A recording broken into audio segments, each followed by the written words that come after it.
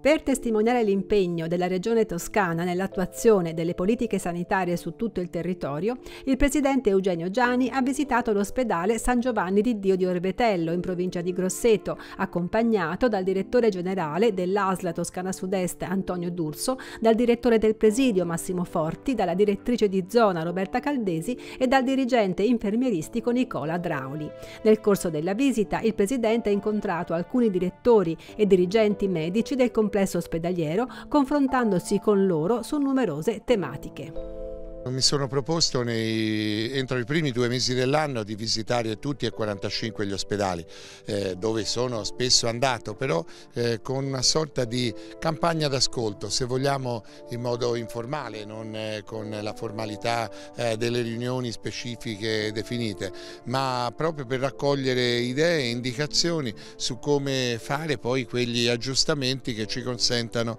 eh, di organizzare il nostro sistema ospedaliero in generale il nostro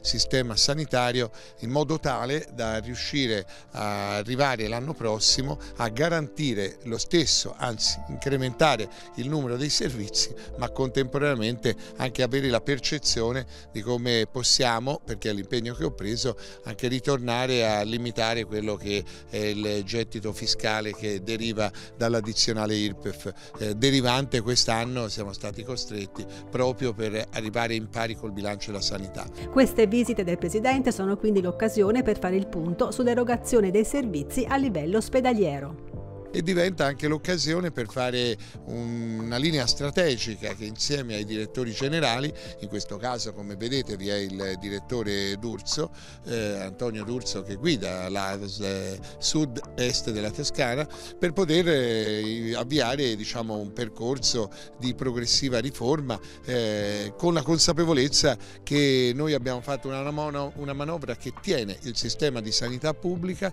e conseguentemente proprio con l'orgoglio di di sapere che è un sistema di eccellenza anche fare quei giusti accorgimenti perché possa esserlo sempre meglio. Altrettanto strategici sono i servizi sanitari territoriali. Ah, devo dire che qua noi cerchiamo di svolgere una funzione che porterà sul territorio i maggiori investimenti perché attraverso il piano nazionale di ripresa e resilienza potremo ammodernare e realizzare eh, quelle che sono le case di comunità su cui per un'area come questa diventa fondamentale la politica sul territorio. Questa zona come tante altre zone della sud-est sarà oggetto di importanti lavori di riqualificazione. Per quanto riguarda gli immobili, la sede di Orbetello ha, a parte la casa della comunità di nuova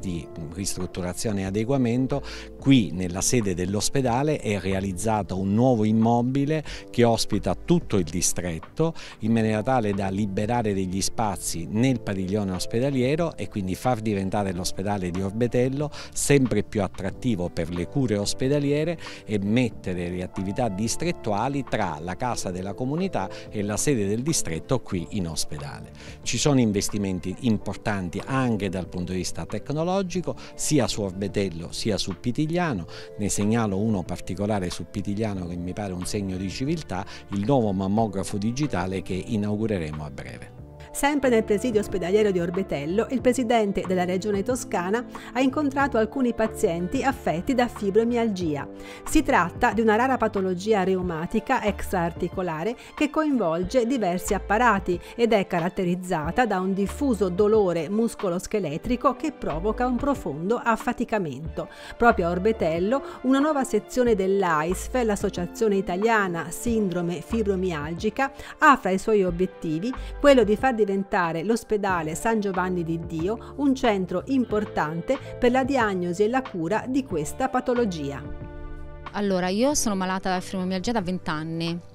Purtroppo questa malattia è degenerativa, vanno avanti gli anni e questo mostro ci divora internamente. La vita cambia e ho deciso di non essere più invisibile, dunque c'è bisogno di far sì che il mondo sanitario si muova per il riconoscimento di questa malattia come malattia invalidante. Il presidente Gianni ha dichiarato che i malati di fibromialgia sono fra coloro che possono trovare sollievo anche grazie alle forme associative che supportano la sanità toscana. In questo modo, ha detto, potranno avere il giusto e significativo apporto da parte del sistema sanitario pubblico. È un esempio eh, di come poi progressivamente cerchiamo di intervenire attraverso coloro che hanno bisogno di cure e di assistenza costanti eh, e non sono inquadrabili nella eh, tipologia acuta con cui rispondiamo attraverso l'ospedale.